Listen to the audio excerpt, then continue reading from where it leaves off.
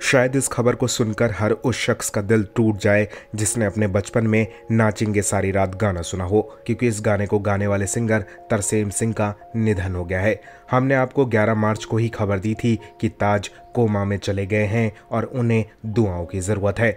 अस्पताल में वो इतने दिनों तक ज़िंदगी और मौत की जंग लड़ते रहे और आखिर में वो इसे हार गए। अब से कुछ देर पहले खबर आई कि ताज की आवाज़ अब हमेशा के लिए शांत हो गई है और वो अपने करोड़ों चाहने वालों को हमेशा के लिए अलविदा कह गए हैं।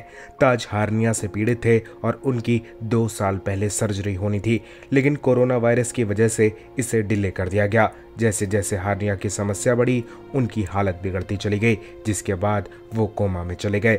जो लोग ताज की शख्सियत से वाकिफ नहीं हैं, उन्हें शायद ये जानकर हैरानी होगी कि 90s के दौर में जब न हनी सिंह और न बादशाह थे, तब हर तरफ़ ताज का नाम गूंजा करता था।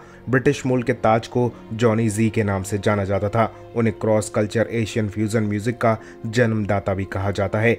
ये वो कला है जो भारत से लेकर यूरोप तक के देशों में फैली हुई है, और ये लोगों के बीच बहुत पॉपुलर है। दुनिया के मशहूर बैंड स्टीरियो नेशन के ताज सबसे बड़े सिंगर थे।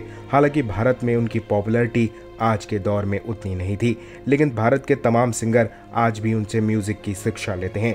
जब 80s 90s में एल्बम का दौर हुआ करता था, तब ताज की एल्बम हिट द डेक 36 सप्ताह तक यूके एशियन पॉप चार्ट में नंबर वन पर रही थी। आप समझ सकते हैं कि उस दौर में माइकल जैक्सन जैसे बड़े बड़े स्टार्स थे, लेकिन ताज ने सबको पीछे छोड़ दिया था। इतना बड़ा सिंगर आज हमारे बीच से चला गया। लेकिन अफसोस कि ताज जिस सम्मान के हकदार थे, हम वो उन्हें नहीं दे पाए। फ़िलहाल भगवान ताज की आत्मा को शांति दे।